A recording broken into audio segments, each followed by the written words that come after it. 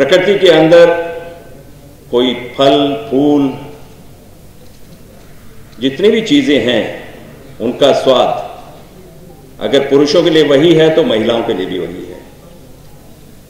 मैं एक साक्षात उदाहरण रख रहा हूँ, यहाँ भूख लगी है तो सबको लगी है, और भूख जो है खाने से ही मिटेगी। उसमें ये डिफरेंस नहीं होगा कि ये खाना पुरुष के लिए भूख नहीं मिटाएगा या महिला के लिए नहीं मिटाएगा। इस देश में बहुत सारी समस्याएँ दूर हो चुकी हैं, दूर हो रही हैं और मुझे लगता है आने वाले समय में जिस तरह से सरकार ने उम्मीद जगाई है और जिस तरह से सरकार काम कर रही है, मैं कभी कभी अचंभित होता हूँ कि आज से पहले भी तो बहुत सारी सरकारें थी। अगर उन्होंने ठीक से काम किया होता तो मुझे लगता है ये समस्या आज नहीं होती। मुझे एक प्रसंग आपको छोटा सा आपके सामने रखूँगा। मुझे लगता है अगर उस प्रसंग को जैसे मैंने अपने जीवन में उसे उतार दिया है, अगर हर भारतीय उसे अपने जीवन में उतार ले तो शायद हम समस्याओं का सामना और बेहतर तरीके से कर पाएँगे, या वो समस्याएँ हमेशा हमेशा के लिए खत्म हो जाएँगी। मैं एक बार विदेश में था, हमारे एक मित्र हैं, व्यापार करते हैं वहाँ पे। हम जो मेन सिटी थी, वहाँ से करीब 200 किलोमीटर दूर थे।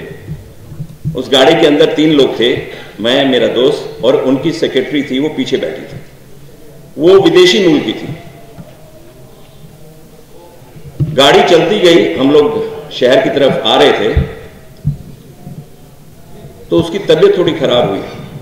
उस महिला की तबीयत, जो उनकी सेक्रेटरी थी, उसकी तबीयत थोड़ी खराब हुई और उसे वॉमिटिंग होने लगी।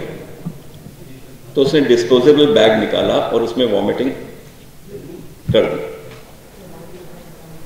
तो हमारे मित्र ने गाड़ी थोड़ी स्लो की और बोला कि थ्रो इट आउट उसने कहा, नहीं।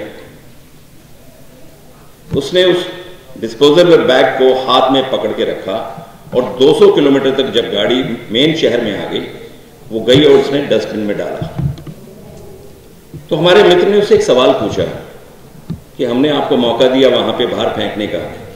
आपने नहीं फेंका, यहाँ तक क्यों लग? गया एक लाइन मेरे यहाँ छप गई आज तक। उस महिला ने कहा दिस इज़ माई कंट्री मुझे लगता है अगर हम आने वाली पीढ़ियों में, आने वाली जनरेशन में, अपने साथी संगी जितने भी हैं, अगर ये कहना शुरू कर दें, हम इसको फील करने लगे दिल से कि दिस इज़ माई कंट्री यहाँ कोई डिफरेंस नहीं होना चाहिए। हम सब एक हैं। इंस्टेड ऑफ़ सेइंग कि I am a Muslim I am an Indian I am a Hindu I am an Indian no we are Indians then something else तो मुझे लगता है कि मेरा आज का जो इतना बड़ा विषय अश्वनी जी ने यहाँ रखा है, मैं इसका समर्थन करता हूँ और उन्हें बधाई देता हूँ कि वो बधाई के पात्र हैं, उन्होंने हिम्मत जुड़ाई है। और हम सब आपकी इस मुहिम में आपके साथ हैं। बहुत बहुत धन्यवाद। आपका समय देने थैंक यू वेरी मच